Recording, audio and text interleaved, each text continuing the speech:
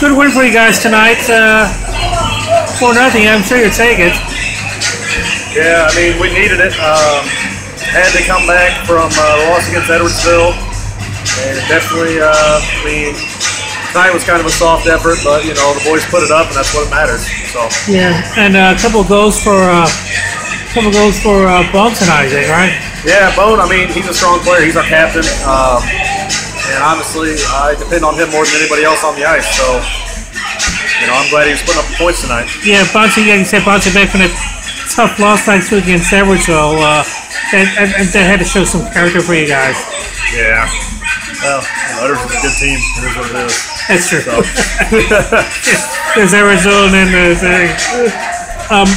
So, uh, what do you think? What do you hope to? What are you hoping to do the rest of the week and the rest? You know, this. What are you hoping to accomplish the rest of the season, rather?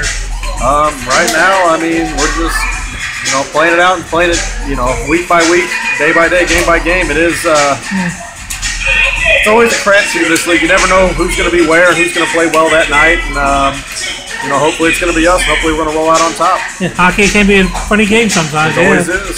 Um, how are the uh, how the kids from Marquette fitting? Are they fitting okay? What'd you say?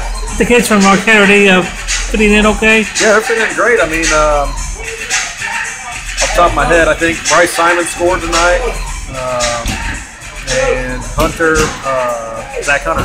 So I mean, you know, two and two are the points. At least I thought for tonight, maybe weren't. But I mean, they're feeling great. You know, uh, that's what our lines are. Our lines are all mixed.